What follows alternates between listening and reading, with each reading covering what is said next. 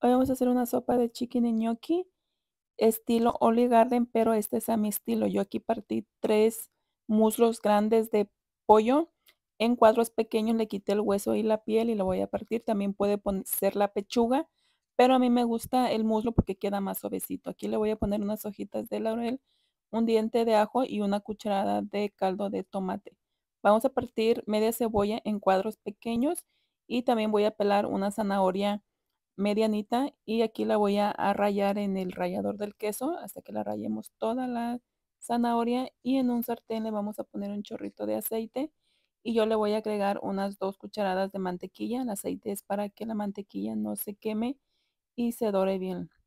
Ya caliente le vamos a poner las, la cebolla que habíamos partido en cuadritos pequeños y de ahí le voy a pachurrar aquí en el machucador de ajos, dos ajos grandes y ahí se los voy a agregar para que se dore con la cebolla. Después le voy a agregar una cucharada grande de harina, harina todo uso, la que es para el pan, la que es para, pues la básica, la que es para el pan, esa es la harina.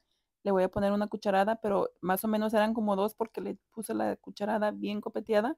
La vamos a dejar como unos 2-3 minutos ya que se dore así bien, se va a ver como amarillita. Ese es el punto y aquí le vamos a agregar la zanahoria que habíamos rayado se la vamos a agregar, lo vamos a dejar unos 3 minutos y le voy a agregar aquí 4 tazas del caldito de pollo donde cocimos el pollo. Salió rojito porque le lo sazoné con sazonador de, de tomate, pero si usted quiere que le salga blanco, nada más sazónelo con sal y listo.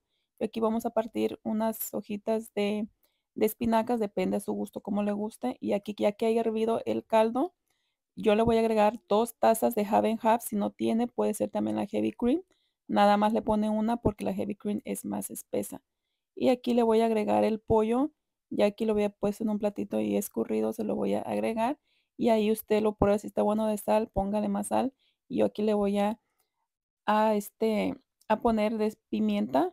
A, depende a su gusto. Y este es el gnocchi. Yo aquí lo compro. Este me gusta comprarlo orgánico y este está hecho de papa porque creo que hay otros que están hechos de harina y ese es de papa.